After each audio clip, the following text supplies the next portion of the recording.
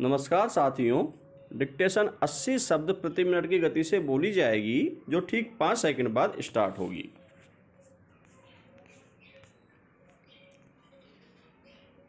Start भारतीय विमानन कंपनियाँ इतने बुरे हालात में हैं कि अब उनके अपने बलबूते पर खड़े होने का सामर्थ्य नहीं बचा है विराम। रही सही कसर, कोरोना की महामारी ने पूरी कर दी विमा, विराम, विमानन।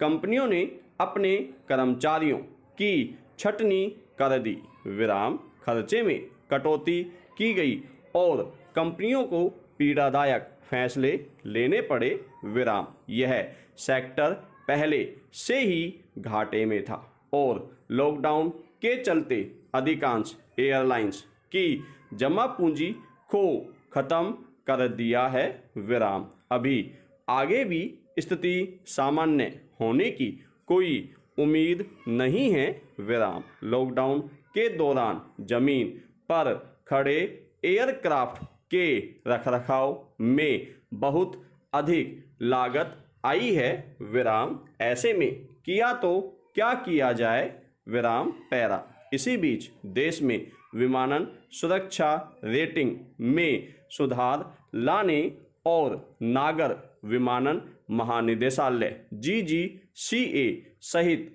अन्य नियामक संस्थानों को वैधानिक दर्जा देने वाले वायुयान संशोधन विधेयक 2020 को संसद की मंजूरी मिल गई। विराम, विपक्ष के कड़े विरोध के बावजूद सरकार ने इसे पास करा लिया है विराम। राज्यसभा में विधेयक पेश करते हुए केंद्रीय उड्डयन मंत्री हरदीप सिंह पुरी ने कहा कि विधेयक का ज़रूरी हिस्सा DG C A bureau of civil aviation, security और एयरक्राफ्ट एक्सीडेंट इन्वेस्टिगेशन ब्यूरो को वैधानिक दर्जा देना है विराम।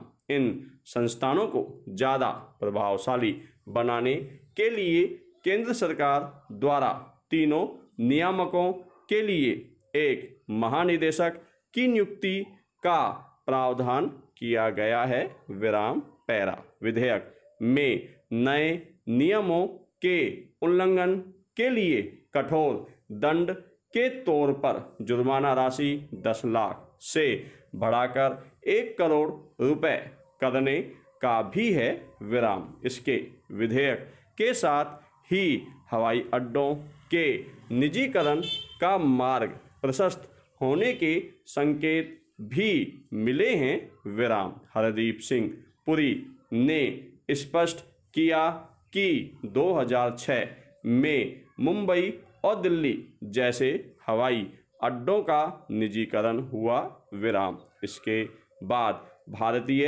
हवाई अड्डा प्राधिकरण को उनतीस हज़ार करोड़ रुपए मिले विराम। इससे न सिर्फ़ इन दो हवाई अड्डों, बल्कि देश के अन्य हवाई अड्डों के आधारभूत ढांचे को विकसित करने में मदद मिली विराम। फ़िलहाल देश में 109 हवाई अड्डे परिचालन में हैं विराम। अगले पाँच वर्षों में 100 अतिरिक्त हवाई अड्डे निर्मित किए जाएँगे विराम पैरा।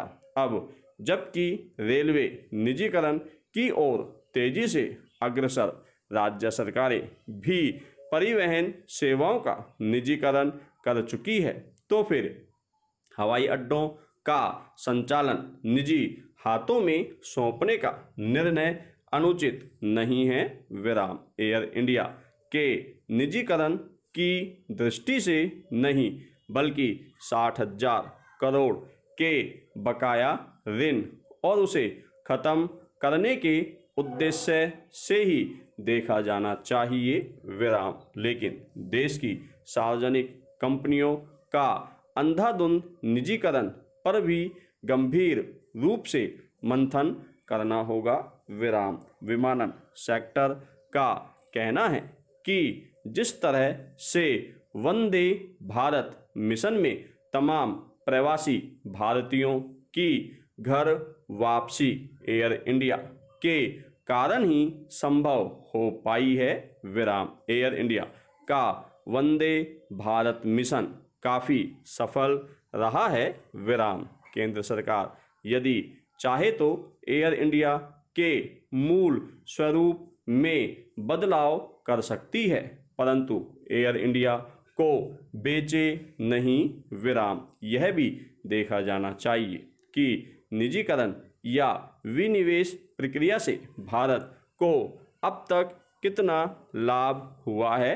विराम। अगर निजीकरण से आधुनिकतम ट्रेनें उपलब्ध हो रही हैं यात्रियों की सुविधाओं में बढ़ोतरी होती है तो निजीकरण का विरोध नहीं होना चाहिए। विराम। इसी तरह वायुयान संशोधन विधेयक से सकारात्मक बदलाव आते हैं तो इसका स्वागत किया जाना चाहिए। विराम। इस पर भी नज़र रखी जानी चाहिए कि पीपीपी मॉडल हवाई अड्डे विकसित करने के नाम पर अनियमितताएँ नहीं हो, विराम, हवाई अड्डों के बुनियादी ढांचे को मज़बूत बनाने तथा हवाई सेवाओं का विस्तार करने के लिए कायाकल्प करने की ज़रूरत है। विराम पैरा, भारत का विमानन क्षेत्र, अगले दो साल में अमेरिका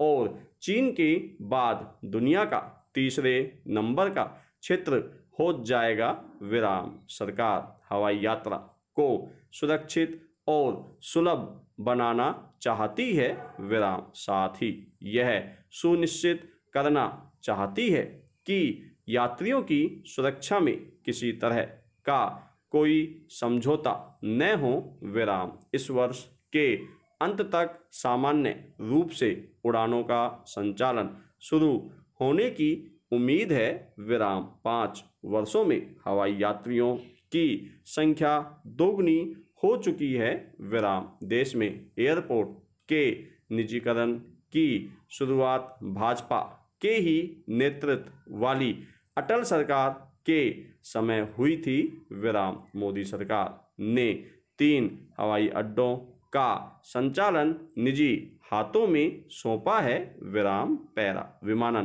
कंपनियों के वैश्विक संघ के मुख्य अर्थशास्त्री ब्रायन पियर्स ने हवाई अड्डों के निजीकरण के पहले और बाद में अंतर का पता लगाने के लिए एक अध्ययन कराया था। इसमें भारत सहित दुनिया के नब्बे हवाई अड्डों को शामिल किया गया विराम अध्ययन में कहा गया कि निजीकरण के बाद हवाई अड्डे की परिचालन कुशलता में भी ज़्यादा सुधार नहीं हुआ, जबकि प्राइवेट कंपनियों का मुनाफा बढ़ता गया विराम।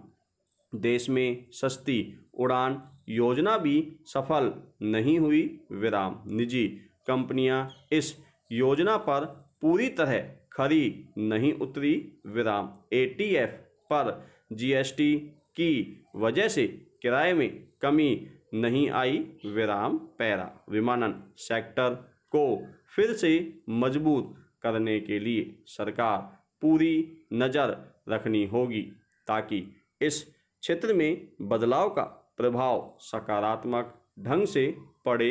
विराम, भविष्य में कोरोना महामारी की स्थिति के सामान्य होते ही यात्रियों की संख्या में बढ़ोतरी होगी। और उड़ानें भी बढ़ानी पड़ेगी। विराम धन्यवाद साथियों।